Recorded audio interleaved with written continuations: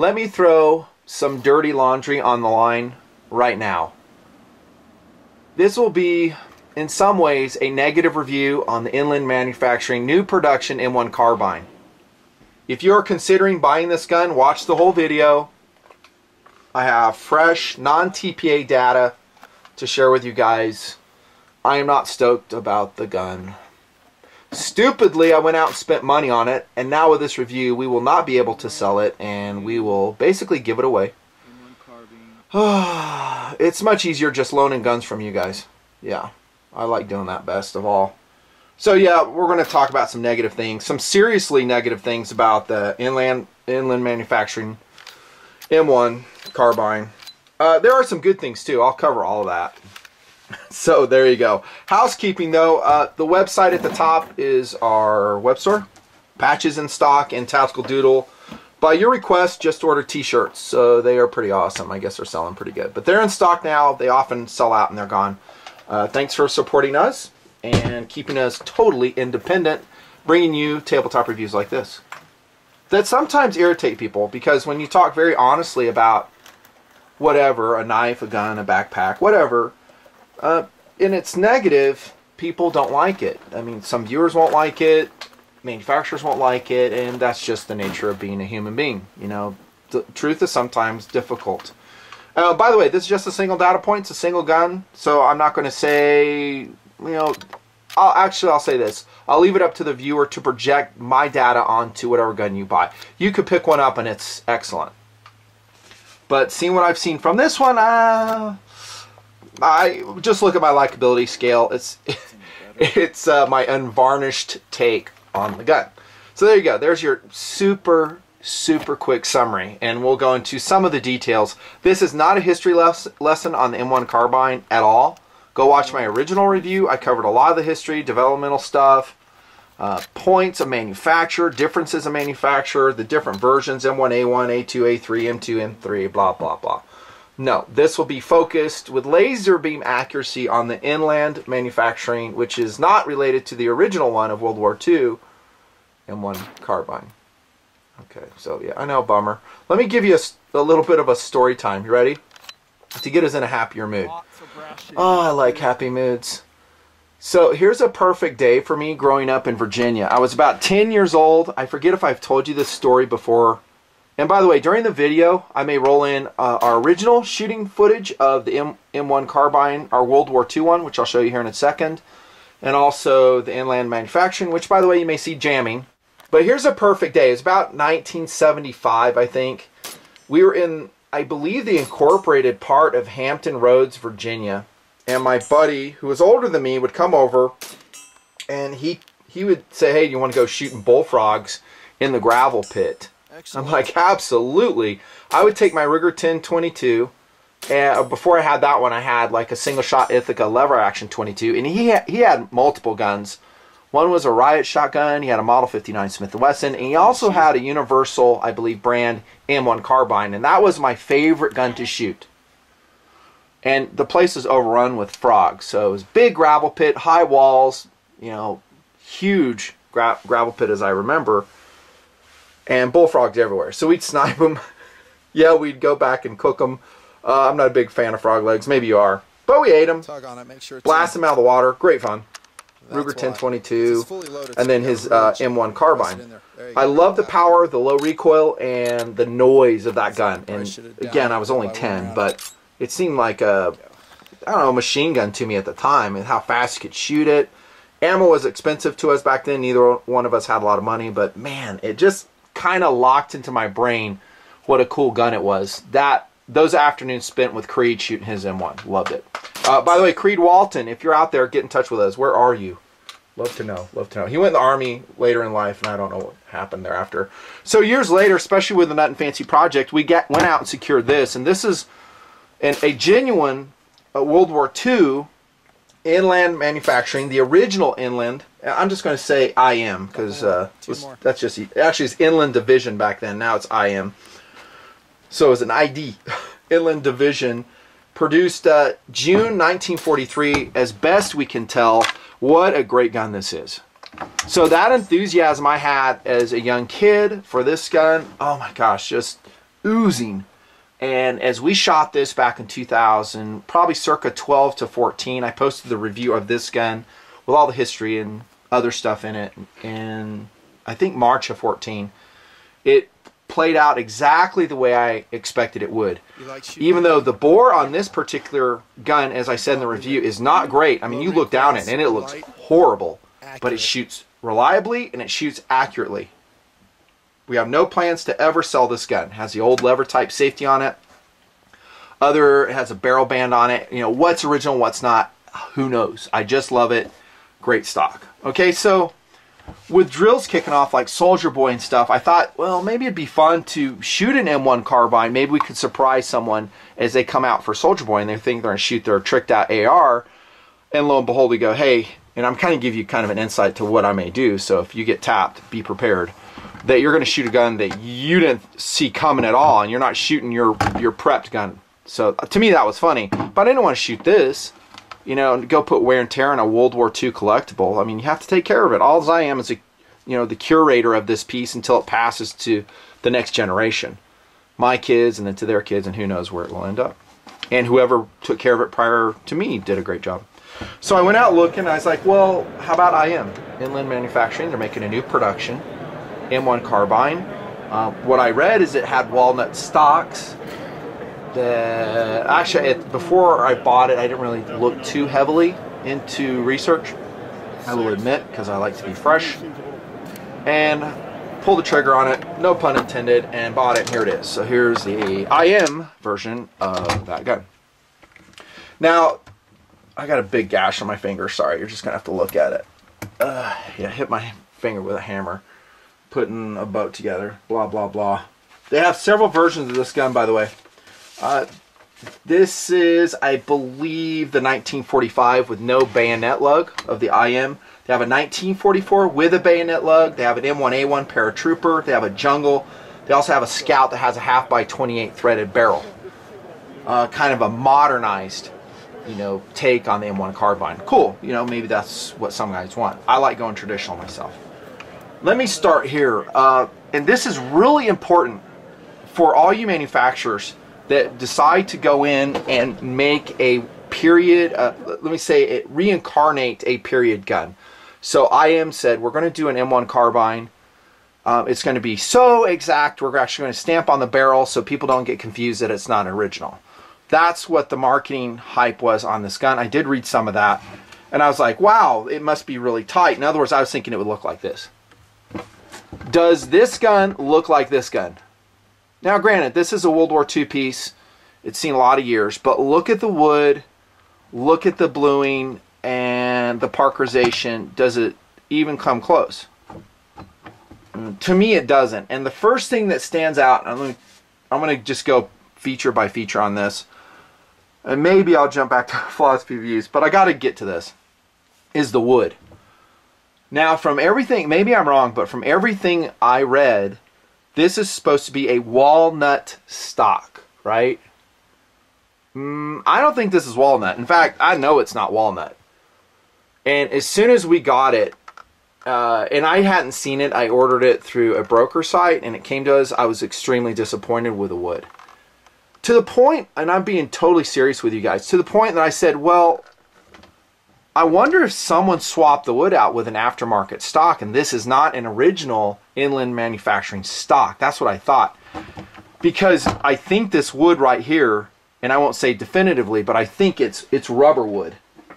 Do you guys ever hear that rubber wood? It's a hardwood. I think it's tropical. It's a really hard wood. It's very serviceable, but it's very inexpensive. And to prove the point, here is a TV tray we have made of rubber wood. Look at the grain. See the striations here? So inexpensive TV tray. It's used in this because, well, it's inexpensive. It is very serviceable, but it sure as the heck ain't walnut. Look at the grain on this. Look familiar? Now maybe it's, and you know, I'm not the end-all wood expert, but maybe there's a, a, variation of walnut that I just don't know. Maybe it is. I it just doesn't look. This is walnut. Look. Look at the grain. See? That is walnut. And I've been around a lot a lot of you know wood stocked rifles in my lifetime. I can pick out walnut. I think this is not walnut. I think it's rubber wood. Now, they had a chance to look at it, so I know for a fact this is not a an aftermarket stock. This is what IM put on it because the gun did go back to them.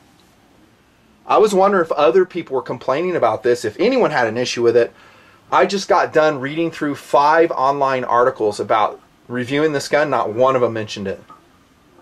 They all raved about the walnut, how great the wood was. This is low wood on this IM.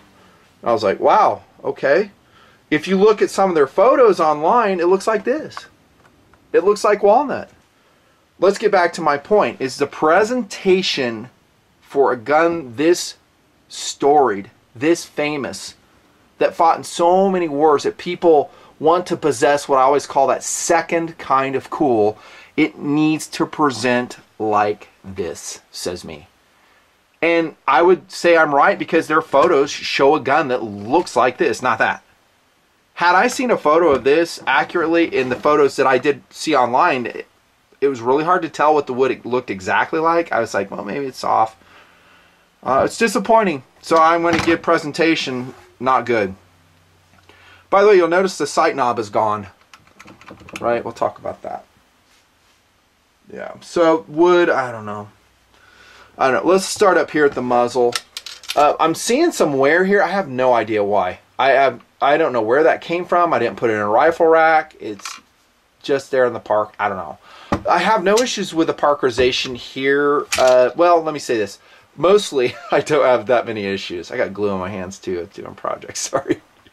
Um, it's okay. I say okay because what I'd really like to see is green parkerization. Going back to presentation.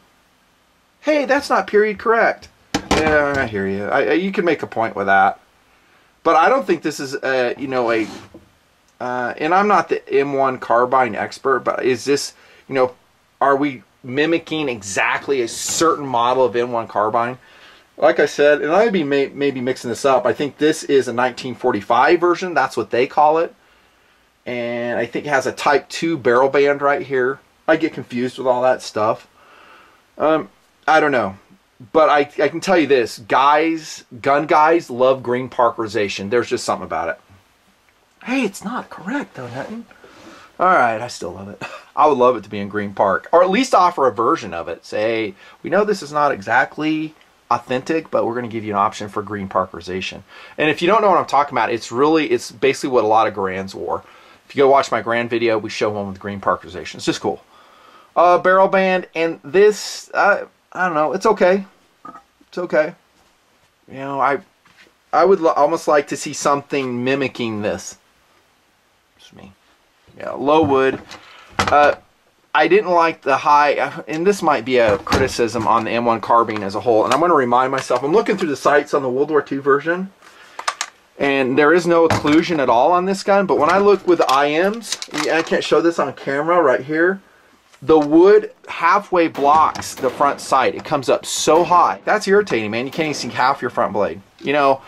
And then if someone rolls in well you know you could mill that out come on man it's an M1 carbine you don't want to be digging into it it's a brand new gun it should be squared away Op rod is fine it's a round bolt not a flat bolt version uh, and the coating actually is decent on here. I don't, there's, I'm, I'm kind of ranting a little bit about the Green Park, but let's just by way of reference look at this. This one here. And granted, this has more than a little bit of wear on it, but character, man. If there's a way you can mimic that character that pre and get that presentation, all the better. I did mention uh, the push button safety. I had a rotational lever on the World War II one. I actually like the push button as far as functionality. There's your magazine release, no problems there. You got a MIMD, that is uh, investment cast, actually not MIMD, but investment cast uh, trigger guard there versus the machined one. That's just how it has to be in this day and age. It's just too expensive to do otherwise. Uh, no problem there. Now the trigger, some of those reviews I read, guys are like, oh, it's got a nice trigger on it. Uh, I'm not going to pull it on the scale just for time, but it actually doesn't have that great of a trigger as far as pull weight. It's about eight and a half pounds. This World War II M1 carbine, this ID Inland Division 1943, granted, been shot a lot probably, uh, six and a half pounds. So really nice trigger. Can you machine it? Uh, not machine it, but gunsmith it? Yeah, totally. A magazine retention on the IM is excellent. No problems there. And that will take us to kind of the heart of the matter. Shooting the gun. Now, it doesn't, I don't think, officially have a last shot hold open. Uh, as you will see in the shooting footage. This is a 15 round mag. That's what it comes with. Um, shooting was immediately disappointing with the IM M1 carbine to a level that, I mean, I just couldn't believe it. And I'm going to show you the footage because, the video, because in case you think I'm making it up, and I have no agendas at all, ever. Uh, it is what it is. I mean, it would not get through the testing protocol. You might see me getting pissed in the video. I was. I was like, why? I just couldn't believe it. I'm like, how is a gun like this shipped out of the factory that has so many problems? And this one on the top, the 1943, it shucks everything. We had no reliability problems at all. All different magazine, much better than this. That's the first problem I saw. So it just would jam, jam, jam, wouldn't extract around. And then I had a massive amount of brass shavings come into play here too which I did not like. I mean, I think I show video of that. So it, it was disappointing, dudes. Disappointing. And I was like, well, and you might say, well, what rounds did you shoot? Well, my first answer is, sh should it matter with a new production gun? I don't like it when guys make excuses with a new production gun and go, well, you know, it takes a specific ammo. It takes a specific magazine. You should know that. I say bullshit. I say it should be reliable with any modern production ammo. We used Aguila and two other brands, which I forget. I think one was one was MagTech. Here's some right here. So this stuff. So what to do? Now I'm in the middle of review. I can't even finish my testing. I did take it out on another outing, and it was doing the same thing with a different ammunition type. Carbine, I was like, well, and I rarely do this. I was like, well, I'm just, I'll send it back. I spent the time and money sending it back. So here's the work order on it. So I sent it in in March, and I, I will say this: Inland Island, uh, Inland Manufacturing had great customer service. They were super friendly. They turned the gun around quickly. I think the owner himself tuned the gun, but this is what he said. He said adjusted feed ramp, chamber ramp, um, adjusted customer's mag, right lip. Oh, Armscor is what. Then test fired with Aguila and Armscor okay. Here's, I really have a problem with the magazine bending. I have a huge problem with it. Because what you're saying is that the gun is so finicky that every magazine has to be tuned to that individual gun. And for a modern production gun of this cost, which is around 800 bucks, 900 bucks, come on. Now, look how many mags I got. So now I've got to fit, well, is this one tuned? And now if I put it back into this gun, are we going to have, you know, reliability issues with that magazine and this gun because we bent the feed lips on that? I mean, you lose your interchangeability of the magazines right out the gate. I have a huge issue with that. Anytime someone says you got to tune the magazine for the gun to work right, it is a fail. Uh, even if it's an M1 carbine, it's a fail. We're talking about reliability, obviously, track record. So I get it back, and again, they were super awesome in, in the quickness of the turnaround. Doodle and I go to the indoor range, and we're like, let's see how this gun's doing, the IM. And so I'll show you the footage. I will say this, it was about 85% reliable. It was definitely better, but I don't know if I would you know, recommend it to my viewers, especially if you want it for a serious purpose, like a defensive carbine, which I've recommended against a PCC. Speaking of philosophy of use, I don't know. So it's still choked. I mean, it wasn't often, and I did go through a couple mags and it was fine. And the next thing you know, it just failed, failure to chamber. Now, when I post a video like this, it's interesting because guys will come in and they'll say, well, you need to do this, you need to do that to get the gun reliable. The point you need to understand, commenter, is this is a new gun, you shouldn't have to do anything. So I completely reject that line of thought. A gun out of box, especially coming back from the manufacturer, should be 100% reliable. And it should have a note, sorry, this is why this particular serial number was not functioning. Again, I go back to those other reviewers the ones I read, and they're like, yeah, you know, we had, I think one said, yeah, we had one like initial you know, failure to feed, and then it ran 100%. It was flawless. Several said flawless. I'm like, dude, I just, maybe I don't know. I and I can't really say say that uh, it was just a lemon because this gun went back to the factory. Somewhere along the way, the rear sight adjustment knob flew off. So pulling it out for review, I don't know where it's at. And I noted for this gun to be zeroed, I had to like drift it. I think it's drifted too far. It's kind of like this, but more to the left. And then the knobs fell off. How did that come off? Why should it come off? Uh, this one's been in service since World War II. It's never come off. Uh, it's just cheesy, if you ask me. It's cheesy. That's unacceptable. Hey, but you screwed it too far. It doesn't matter. A gun needs to be idiot-proof. Everybody can be an idiot. You're under. Look at the M1 Garand, dude. You want an idiot-proof semi-automatic combat rifle? The M1 Garand. It's pretty idiot-proof. They gave it to all types of troops, all types of dudes from different backgrounds, various levels of mechanical ability, or none at all. That gun ran fine. So did a properly built M1 carbine, for the most part. There were some complaints in the Korean conflict, but mostly that's a really good track record. I don't know, man. I don't know. How about accuracy? Well, again, I was pretty upset when this is all happening. I was like, God, do I even go through the freaking accuracy protocol? I tried. Here's Armscor, and I think I said Magtech. I guess Armscor and Magtech. I honestly forget. I told you I was dreading this review. The accuracy was pretty decent, though. This is 50 yards. Uh, reliability is awful. I would think uh, it's a little less accurate than this one but it's decent. I would expect it 100 yards with iron sights like this, minute of pie plate. I and guys like one review I read and says, "Oh yeah, you can get two inches out of the IM gun." I was like, "Yeah, I'd like to see it. 100 yards, I'd love to see it." And you have to come shoot with me. So no, no trickery, games, special camera work. You come shoot with me and you show me how you get two inches out of this gun. Ain't gonna happen, says me. Here's uh, 25 yards standing. This is in March. Still jamming. This is after it came back to us, so we're shooting April, Tactical Doodle and myself, and this is just 12 yards, so decent. Um, other things about the gun, we kind of got sidetracked there. Uh, the stock, pretty normal. I have like a Repro mag carrier. I think TD threw this on there, a couple 15s in it. I think it comes with a sling. I honestly forget. There's a quick look at the butt pad right here, or the butt plate, sorry quick look at this side of the Inland Manufacturing M1 carbine. Uh, here we go again. I, I gotta say it. This wood is just plain ugly. Ugly. You know what it reminds me of?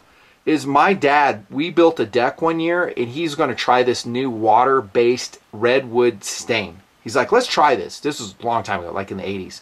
So we bought this water-based redwood stain and it was more of like a paint. It really didn't tint the wood, it kind of painted the wood. That's what this looks like. It looks like there's kind of a tint process going on here to color the wood. Remember that rubber wood I showed you is very light color, so it looks like it's actually kind of painted. That's how it looks to me. And you see some gathering of it here. So I, I won't say definitively, like I said, but yeah, that's what it looks like. It is very disappointing, the wood on this. It's, it is so bad that if I were to keep this this gun. Uh, and if it was 100% reliable, dude, it'd be a different tabletop review, totally. But if I was to keep this gun, I would throw this stock in the garbage. And I would buy an aftermarket stock properly done. A genuine walnut stock like this one, done. Doesn't have to be used, but something new. And then I'll finish it myself, and I will make it look like this without the wear. I'm sorry, dude. That's just the way it is. Um, let's uh, you know the sight actually before it fell apart was standard M1 carbine graduated to 300 yards or so. I actually like the M1 carbine sight I think it's cool. Works great. Here's one that's not falling apart. You know it's been that way since 1943 if you're wondering the quality levels between this gun and that one are night and day. I mean milled investment cast everything just reeks of quality on this older one. So good luck finding an original M1 carbine. What if it worked? What if it was totally reliable, had a great trigger on it, and you know was built more robustly and had beautiful wood on it? Well, I would say it'd be totally worth the money.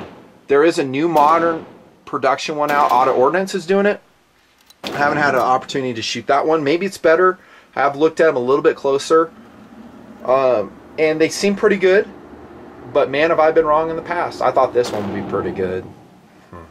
Philosophy of use, like we said, uh, home defense gun. I wouldn't, you know, give you an okay on this one. I'm not. This one I would. The idea, I guess, is you're in the realm of a pistol caliber carbine, PCC, and I've said that this, in a lot of respects, beats a PCC, especially a 9mm, because you're shooting around 1900, 2000 feet per second, 110 grain bullet. It, it hits like a 357 out of a rifle.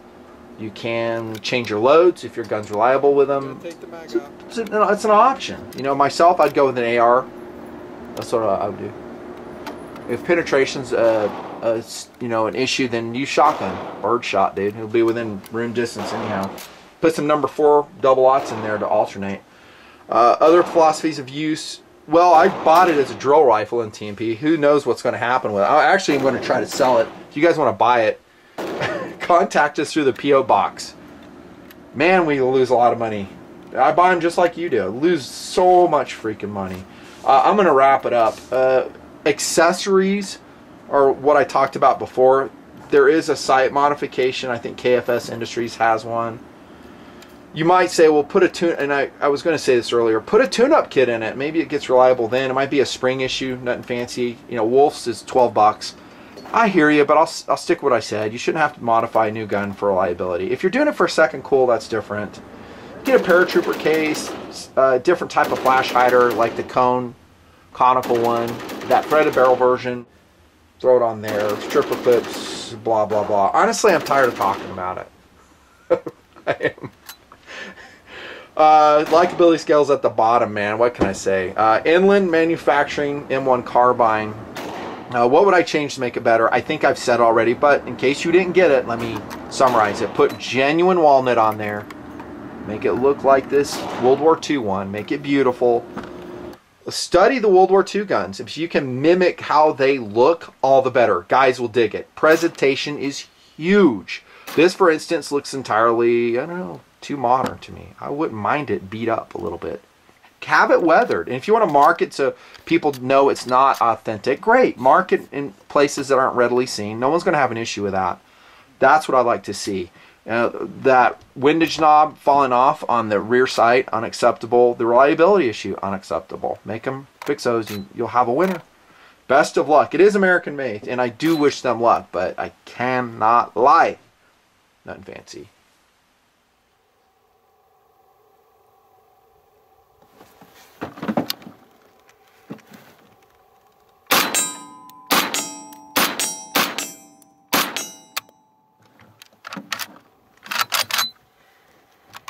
Well, that was a rough, rough start for the Inland M1 carbine. Very rough start. Let's see how it does now. This is not going well. This M1 carbine. Ah, I wish I'd bought more mags.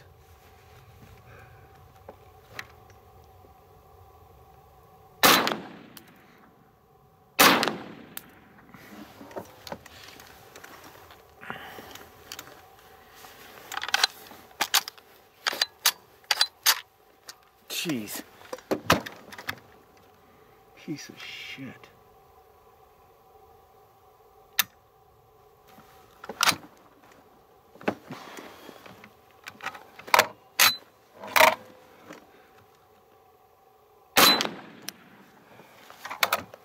So now there's about only 10 rounds in here.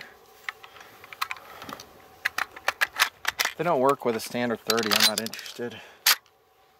Just a lot of drag on that bolt. A lot of drag.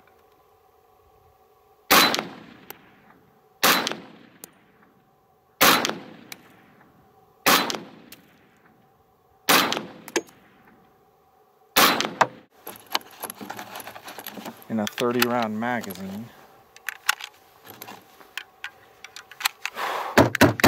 So there's 20 rounds in one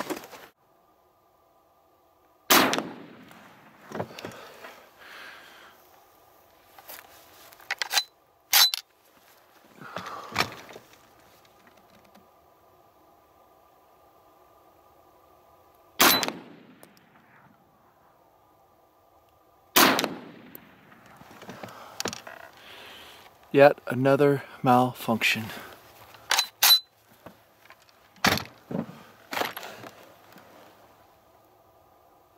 Gosh dang, this is horrible. Uh, test discontinued. I'm discontinuing the test. I hate this gun enough. I'm not going to waste more time on it. Uh, it's got quality issues. Stock is ugly. Machining marks. It appears to be inaccurate, and it definitely is not reliable. Not with this magazine. I'll show you what I'm talking about with the accuracy. Those were all good trigger presses too. At 50 yards. This is at 50 yards. Dang, son. This is disappointing.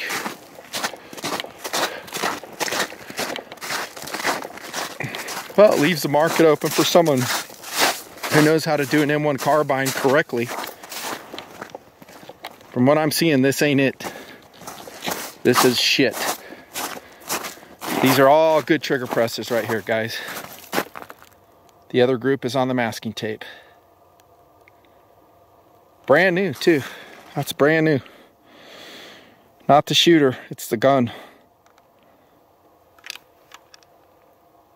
Not good.